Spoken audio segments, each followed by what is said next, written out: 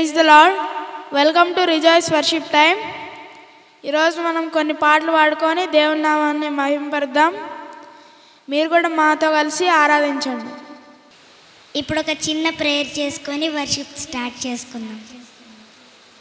హలలియా హలలియా హలలియా స్తోత్రం. ఎసయ్య ఇన్ని రోజులు కాచి కాపాడినందుకు మీకే వందనాలు అయ్యా.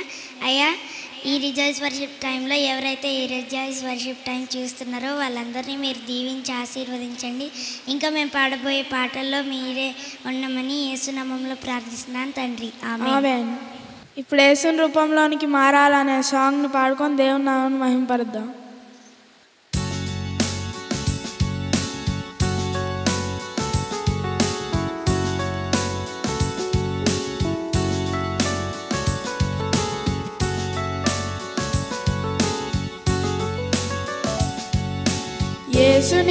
రూపంలోనికి మారాలి. యేసుని మాదిరి మనకు రావాలి. యేసుని రూపంలోనికి మారాలి. యేసుని మాదిరి మనకు రావాలి.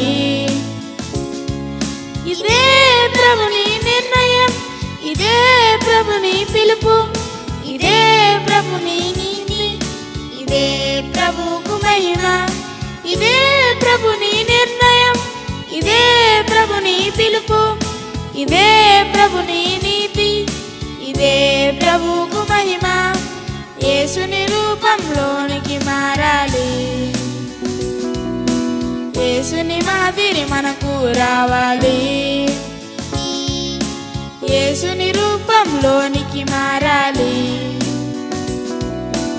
యేసుని మాదిరి మనకు రావాలి యేసుతో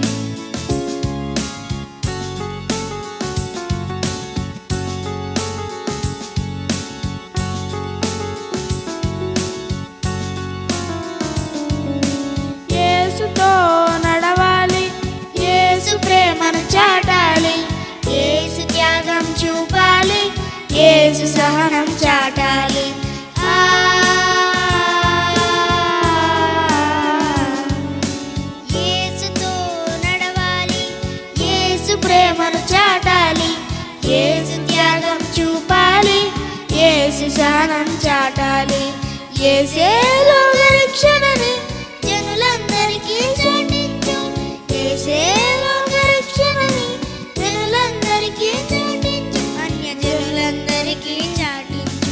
ఇదే ప్రభుని నిర్ణయం ఇదే ప్రభుని పిలుపు ఇదే ప్రభుని నీతి ఇదే ప్రభుకు మహిమా.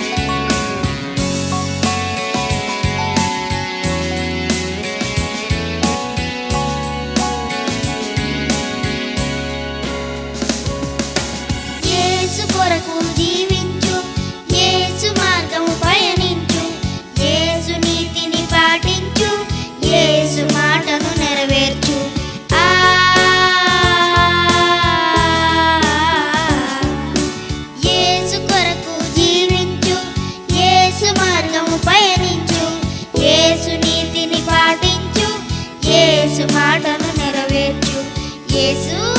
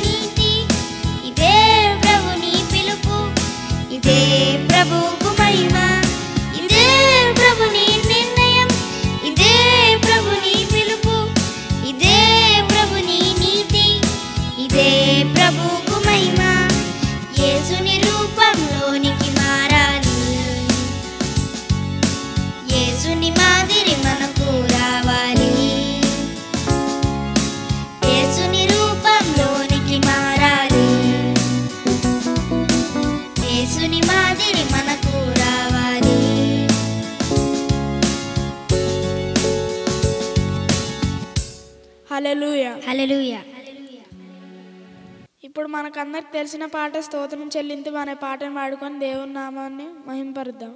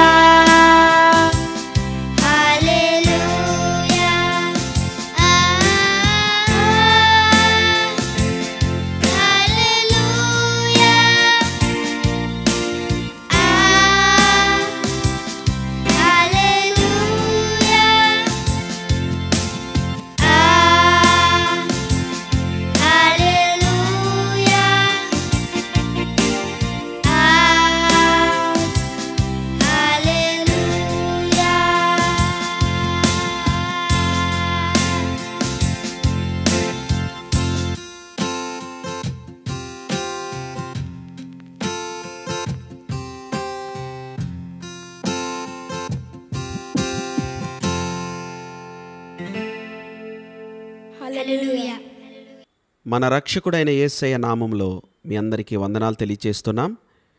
రిజాయిస్ వర్షిప్ టైంలో వాక్య సమయానికి మనం వచ్చాం. ప్రార్థనతో మనం ప్రారంభించుకుందాం. దేవ పరిశుద్ధుడా ఏసయ్య మీకు స్తోత్రాలు. ఈ వాక్య సమయంలో మీరు మాతో మాట్లాడండి. పరిశుద్ధాత్మ దేవ మీ బోధన మాకు వినిపింపచేయండి. మీ తలంపులు మాకు దయచేయండి దేవా. ఇంతవరకు ఆరాధనలో మాకు తోడైనందుకు స్థుతులు చెల్లిస్తూ మమ్మనందరినీ ఆశీర్వదించమని యేసు నామమున అడుగుచున్నాను తండ్రి. ఆమెన్.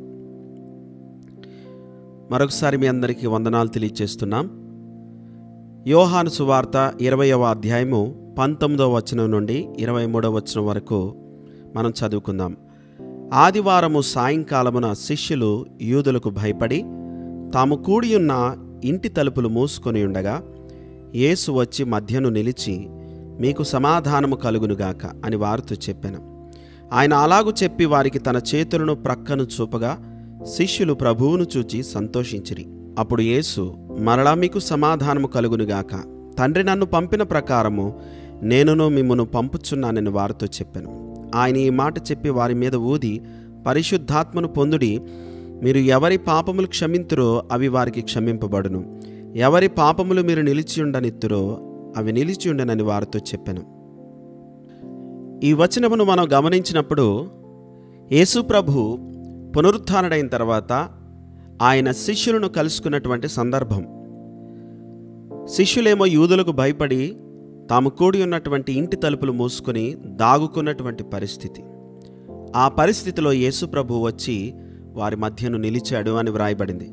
అంత మాత్రమే కాకుండా ఆయన చెప్పినటువంటి మాట మీకు సమాధానము కలుగునుగాక చదివిన వాక్య భాగంలో రెండుసార్లు మనకు కనబడుతుంది మీకు సమాధానము కలుగునుగాక వారున్నటువంటి స్థితిని మనం గమనించినప్పుడు అధైర్యముతో సంతోషము లేని స్థితిలో దుఃఖముఖులై వారు ఉన్నప్పుడు ప్రభు వారి మధ్యకు వచ్చి ఆయన చెప్పినటువంటి మాట మీకు సమాధానము కలుగునుగాక మన జీవితాల్లో భయంతో నిండుకున్నప్పుడు దుఃఖముతో నిండుకున్నప్పుడు మరి అనేకమైనటువంటి భయంకరమైన పరిస్థితులను ఎదుర్కొన్నటువంటి జీవితాల్లో జీవిస్తూ ఉన్నప్పుడు ప్రభు మన దగ్గరకు వచ్చి ఆయన ఇచ్చేటువంటి భరోసా ఏంటంటే సమాధానము కలుగునుగాక. అనగా ధైర్యంగా ఉండండి భయపడకండి జడియకండి అని చెప్పి ఆయన తన వాగ్దానములను మనకి ఇచ్చేటువంటి వాడు. శిష్యులు ఆయనను విడిచి వెళ్ళిపోయారు. ఆయన మరణ సమయంలో ఆయన తీర్పు సమయంలో కానీ ప్రభు వారిని మర్చిపోలేదు. శిష్యులు ఆయన యొక్క పరిచర్లో కూడా ఉన్నటువంటి వారు వారు మర్చిపోయారు కానీ ప్రభు వారిని మర్చిపోలేదు. పునరుత్డైన తర్వాత మొట్టమొదట వారిని కలుసుకోవడానికి వచ్చి వారిని ధైర్యపరుస్తున్నాడు ప్రభు. ప్రభు మనల్ని ఎప్పుడు కూడా మర్చిపోయేటువంటి వాడు కాదు. మనం ఆయన నమ్ముకున్న తర్వాత రక్షణలోనికి వచ్చిన తర్వాత మనల్ని ఆయన ఎప్పటికీ కూడా మరిచిపోడు. ఆయన మనలను ఎన్నడూ కూడా విడిచిపెట్టడు అని జ్ఞాపకం చేసుకోవాలి. మన కుటుంబాల్లో ఆదరణ ఇచ్చేవాడు మన దుఃఖమును మాన్పువాడు మనకు ధైర్యాన్ని అనుగ్రహించేటువంటి దేవుడు మనకున్నప్పుడు మనము సంతోషంతో ఆయనను స్తుతించాలి. దేవునికి స్తోత్రం కలుగునుగాక వారికి ధైర్యాన్ని నింపడానికి ప్రభు చేసినటువంటి పనిని మనం చూసినప్పుడు తన చేతులను తన ప్రక్కను వారికి చూపాడు. తాను ఏ రీతిగా శిలువ మరణం పొందాడో ఆయన పొందినటువంటి గాయములను వారికి చూపినప్పుడు శిష్యులు ప్రభువును చూచి సంతోషించారు. ఇదిగో ఈయనే మన ప్రభు మన పాపముల కొరకు లోక పాపముల కొరకు బలి అయినటువంటి దేవుని గొర్రెపిల్ల అయినటువంటి క్రీస్తు ఈయనే మన ప్రభు మన బోధకుడు మన గురువు అని చెప్పి వారు ఎంతగానో సంతోషించారు. దేవుడు మన జీవితాలు ఎల్లప్పుడూ కూడా సంతోషాన్ని ఇచ్చేటువంటి వాడు. ఒక పాజిటివ్ ఎనర్జీని నింపేటువంటి దేవుడు మనకున్నాడు. దేవునికి స్తోత్రం చెల్లిద్దాము హలలుయ కాబట్టి ఏ సైన బట్టి మనం ఎప్పుడు కూడా సంతోషించేవారుగా ఆయనను ఆరాధన చేస్తూ స్తుతిస్తూ ఆయనను ఘనపరిచేవారుగా మన జీవితాలను మనం మార్చుకోవాలి. శిష్యుల జీవితాల్లో భయం కలిగినప్పుడు యేసు రావడం ద్వారా ఆ భయం తొలగిపోయింది. ఏసై చెప్పినటువంటి ఆ మాటల ద్వారా ఆశీర్వచనముల ద్వారా వారి జీవితంలో సమాధానం కలిగింది. మన జీవితాల్లో కూడా యేసు ప్రభువును మన జీవితాల్లో ప్రతిష్ఠ చేసుకున్నప్పుడు మనకు ఎలాంటి భయాలు ఉన్నా కూడా ఆ భయాలన్నీ తొలగిపోతాయి. ధైర్యం కలిగినటువంటి జీవితంలోనికి మనం వస్తాం. మన జీవితాల్లో సంతోషము సమాధానము నింపబడుతుందని మనం జ్ఞాపకం చేసుకోవాలి. దేవునికి స్తోత్రం కలుగునుగాక అని చెప్తున్నటువంటి మాట ఏంటంటే అప్పుడు యేసు మరలా మీకు సమాధానం కలుగునుగాక తండ్రి నన్ను పంపిన ప్రకారం నేను మిమ్మను పంపుచున్నానని వారితో చెప్పాను. ఆయన ఈ మాట చెప్పి వారి మీద ఊది పరిశుద్ధాత్మను పొందుడి అని చెప్పాడు. తండ్రి నన్ను ఏ రీతిగా అయితే పంపించాడో అలాగే నేను మిమ్మల్ని పంపుచున్నానని శిష్యులకు చెప్పి వారిని ధైర్యపరిచాడు. వారిని మరలా సిద్ధపరచడానికి ఆయన వారికి ఈ మాటలు తెలియచేశాడు. ఆయన ఈ మాట చెప్పి వారి మీద పరిశుద్ధాత్మను పొందుకోండి అని చెప్పి ఊదేను అని వ్రాయబడింది. మరలా వారికి విశేషమైనటువంటి అధికారాలు దేవుడు వారికి అనుగ్రహించాడు. ఏంటంటే మీరు ఎవరి పాపములు క్షమింతురో అవి వారికి క్షమింపబడును. ఎవరి పాపములు మీరు నిలిచి ఉండనిత్తురో అవి నిలిచి ఉండనని వారితో చెప్పాను. దేవునికి స్తోత్రం కలుగునుగాక. మరొక మాటను మనం ప్రకటన గ్రంథం మూడవ అధ్యాయం ఇరవై వచ్చిన చూస్తే ఇదిగో నేను తలుపు నద్దు నిలుచుండి తట్టుచున్నాను. ఎవడైనను నా స్వరము విని తలుపు తీసిన ఎడలా నేను అతని ఎద్దుకు వచ్చి అతనితో నేనును నాతో కూడా అతడును భోజనము చేయదుము అని వ్రాయబడి ఉంది దేవునికి స్తోత్రం. హలలుయ శిష్యుల యొద్దకు ఆయన స్వయంగా తానే వచ్చి వారిని ధైర్యపరిచాడు. మరొక ఆహ్వానాన్ని మనం ఇక్కడ చూడొచ్చు. ఎవరైతే ఆయన కావాలని కోరుకుంటున్నారో ఆయన తలుపు తడుతున్నప్పుడు వాక్యము ప్రకటించబడుతున్నప్పుడు అవకాశము సమయము మనకు వచ్చినప్పుడు ఆయన కొరకు మన హృదయం అనే తలుపు తీస్తే ఆయన మనలోనికి వచ్చి మరి సంతోషాన్ని సమాధానాన్ని సమస్తాన్ని మనకు అనుగ్రహించేవాడు. దేవునికి స్తోత్రం. హాలలోయ వారికి పరిశుద్ధాత్మను వారి మీదకి పంపించాడు.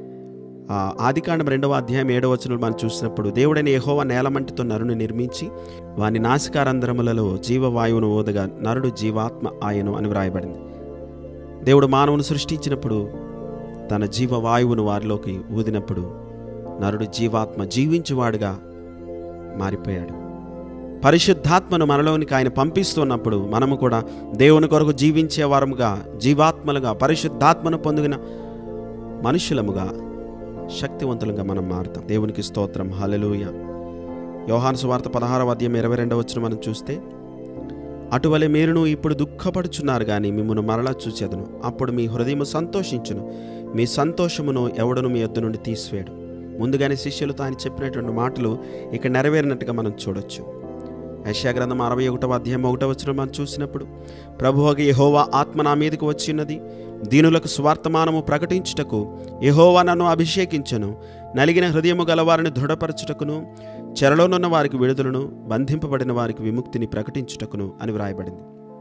యేసు ప్రభు తను నమ్మిన వారికి ఆయన పరిశుద్ధాత్మను అనుగ్రహించేవాడు. పరిశుద్ధాత్మ ద్వారా మనం శక్తిని పొందుకుంటాం. శిష్యులు భయపడిన వారుగా దిగులు చెందిన వారుగా వారు ఉన్నప్పుడు వారిని ధైర్యపరిచి వారికి పరిశుద్ధాత్మనిచ్చి వారికి భరోసానిచ్చి సంచకరువును అనుగ్రహించి వారు లోకమంతా వెళ్ళి ఆయన కొరకు హతసాక్షులుగా జీవించడానికి దేవుడు కృపనిచ్చాడు. ఎంతో సువార్తను వారి ద్వారా దేవుడు ప్రకటించాడు. దేవునికి స్తోత్రం.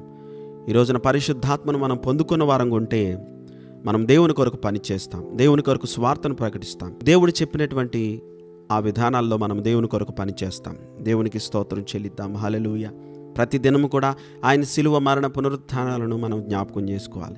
ఇదిగో సిలువను గూర్చిన వార్త నశించుచున్న వారికి వెరుతనము కానీ రక్షించబడుచున్న మనకు దేవుని శక్తి. సిలువ పునరుత్థానాలను మనము జ్ఞాపకం చేసుకుంటున్నామా? మన జీవన విధానం క్రీస్తు కోరినటువంటి జీవన విధానంగా మారాలి. దేవుడు ఆశించినటువంటి జీవితంగా మన జీవితం మారినప్పుడు దేవునికి మహిమ కలుగుతుంది. ఈ లోకంలో అత్యధికమైన సువార్త మన ద్వారా ప్రకటించబడుతుంది. దేవునికి స్తోత్రం కలుగునుగాక. మరి అనేకమైనటువంటి కుటుంబాల్లో భయము దుఃఖము ఆదరణ లేక నష్టాలలో ఆర్థికపరమైనటువంటి ఇబ్బందులు ఉన్నారేమో పరిశుద్ధాత్మ దేవుడు మనకు ఉండగా మనం భయపడవలసిన అవసరం లేదు. ఏసయ్య మన మధ్యలో ఉండగా మన హృదయంలో ఉండగా మనం భయపడవలసిన అవసరం లేదు. ఆయన మనకు సమాధానాన్ని ప్రతి సమస్యకు జవాబును ఆయన అనుగ్రహించేవాడు. దేవునికి స్తోత్రం. హలలుయ యేసును కలిగి ఉందాం. సమస్తాన్ని మనం పొందుకుందాం. ఆయన చెప్పినట్టుగా నడుచుకుంటే మనము ఆయనను ఘనపరిచే వరంగా జీవించగలుగుతాం. పరిశుద్ధాత్మ దేవుడు అందుకు మనకు సహాయం చేస్తాడు. ఆయన కొరకు జీవించే వారంగా మనల్ని మారుస్తాడు. అందుకే ఆయన ముందుగానే మనల్ని ప్రకటన చేశాడు. ఏమనంటే ఇదిగో మీరు ఏర్పరచబడిన వంశము మిమ్మల్ని పరిశుద్ధులుగా నేను ఏర్పరచుకున్నాను. ఏ మనిషి కూడా నీతిమంతుడిగా పరిశుద్ధుడిగా దేవుని ఎదుటి నిలవలేడు. కానీ దేవుడు ఏమని ప్రకటిస్తున్నాడు మనల్ని? ఏసయ రక్తము ద్వారా శిలువ మరణ పునరుత్థానాల ద్వారా మనల్ని నీతిమంతులుగా ఆయన తీరుస్తున్నాడు. ఆయన ఏదైతే మన గురించి భావిస్తున్నాడో అదే భావనలో మనం ఆయన కొరకు జీవిస్తే గొప్ప కార్యాలు దేవుని కోసం గొప్ప జీవితం దేవుని కోసం మాదిరికరమైన సాక్షార్థమైన జీవితం ఆయన కొరకు మనం చేయగలుగుతాం. అలాంటి కృప దేవుడు మనందరికి అనుగ్రహించునుగాక ఆమెన్. ప్రార్థన చేద్దాం. పరిశుద్ధుడైన తండ్రి మీ నామానికి స్తోత్రాలు. ఈ వాక్యమును విన్నాం. ప్రతి ఒక్కరిని మీరు దీవించండి. అనేక మంది ప్రభు దుఃఖములో భయపడిన వారుగా తమ జీవితాన్ని గురించి నిరాశ కలిగి జీవిస్తున్నారేమో. చిన్నపిల్లలు యవనస్తులు పెద్దలు వృద్ధుల వరకు ప్రభు ప్రతి ఒక్కరిని మీరు దర్శించమని ప్రార్థిస్తున్నాను. వారి కుటుంబంలో ఏదైతే సమస్య ఉందో ప్రతి సమస్య నుంచి వారికి విడుదల దయచేయండి. దేవా ఏ కుటుంబాల్లో అయితే ప్రభువ తమ ప్రియులైన వారిని పోగొట్టుకున్నారు ఆ కుటుంబాల ఆదరణ దయచేయమని ప్రార్థిస్తున్నాను. అనారోగ్యం కలిగిన వారిని స్వస్థపరచండి. హాస్పిటల్లో ఉండి చికిత్స పొందుతూ ప్రభువా నేను ఎంతమంది అయితే ప్రభు నాయన ఇబ్బందిలో ఉన్నారో వారందరినీ మీరు ప్రభు రక్షించండి విడుదల దయచేయండి స్వస్థపరచండి. దేవా మీకు స్తోత్రాలు చెల్లిస్తున్నాం. నాయన పరిశుద్ధాత్మ దేవా ఇంతవరకు మాకు తోడైనందుకు స్తోత్రాలు దేవా. రక్షణ విడుదల స్వస్థత మా ప్రజలకు దయచేయండి. ప్రతి వైరస్ నుంచి ప్రతి వ్యాధి నుంచి ప్రతి తెగుల నుంచి నీ ప్రజలను రక్షించమని ప్రార్థిస్తున్నాను. మీరే మహిమ ఘనత ప్రభావములు పొందమని ఏసయ నామంలో అడుగుచున్నాను తండ్రి. ఆమెన్. దేవుడు మనందరినీ ఆశీర్వదించునుగాక. ఆమెన్.